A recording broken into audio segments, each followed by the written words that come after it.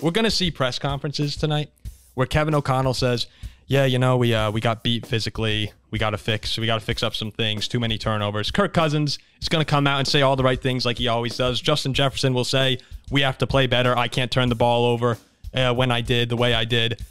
No one's going to say what needs to be said. So I'm not I'm not going to sugarcoat it. Fix the line. Find a way to fix the line. You can't let Kirk Cousins sit back there and get murdered at 35 years old. It happens time and time and time again. It's embarrassing. You get mauled on national television.